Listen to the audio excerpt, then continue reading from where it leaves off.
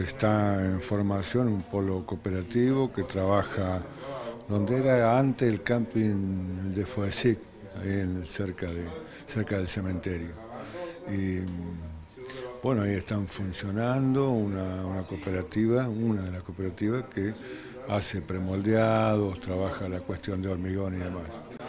Y bueno, como que a partir de proyectos de arquitectura centralmente, que es esto que decía usted de las esquinas inteligentes, como que se va a utilizar el equipamiento, la mano de obra y demás de esta, de esta cooperativa para, formar baldosas que le permitan a los discapacitados poderse, poderse manejar mucho mejor, con mejor calidad de vida en, este, en la vía pública.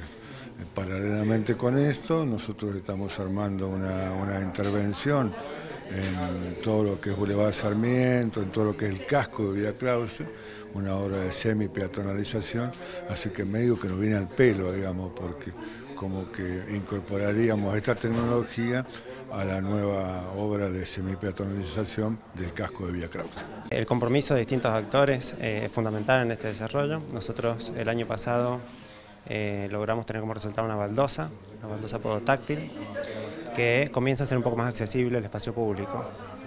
En este caso, el proyecto eh, trabaja directamente sobre el desarrollo de una esquina inteligente, es decir, un sistema de componentes trabajando en forma conjunta para facilitar el cruce. Hay recursos industriales, hay conocimiento. Lo que hace falta muchas veces es poner en, interacción dichos recursos y para eso estas instancias son cruciales. La buena voluntad, este, transformada directamente en convenios de trabajo conjunto. Constituye un desafío para nosotros que somos una ONG poder eh, hacer estas experiencias de articulación eh, territorio-conocimiento.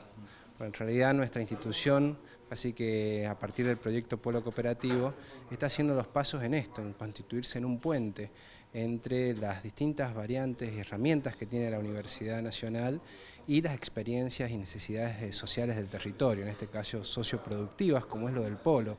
Nuestro aporte fundamentalmente tiene que ver con una mirada multidisciplinar, tenemos equipos constituidos por distintas disciplinas del conocimiento, eh, el proyecto constituye también un esfuerzo para vincular las necesidades laborales de los pibes de esa zona, una zona con muchas necesidades, con muchas vulnerabilidades sociales, como es la del oeste de Rawson, eh, con chicos que están en proceso de recuperación de adicciones. El CEDI trabajó mucho en esa etapa cuando se constituyó el CEPLA en su momento, que fue el Centro Local de Prevención de Adicciones junto al municipio de Rawson.